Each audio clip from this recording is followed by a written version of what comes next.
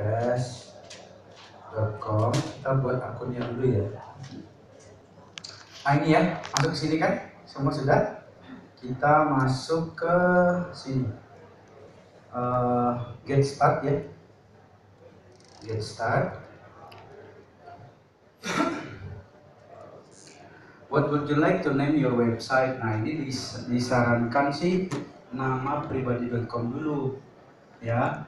Jadi atau misalkan mau langsung nama jualan juga boleh. Tapi kalau nama jualan biasanya nanti kontennya agak suka agak mentok ya. Kecuali kalau teman benar-benar passion sekali dengan uh, bisnisnya. Contohnya ada teman saya itu bisnisnya dia mengenai motor besar gitu jual beli motor besar jadi dia mau bikin konten mengenai motor tuh bisa ini banget deh ya dan untuk buat artikel itu uh, paling bagus 300 kata ya. Itu 300 kata nah kalau dia tuh nggak sadar bisa sampai 1000 kata kenapa? Karena passion ya.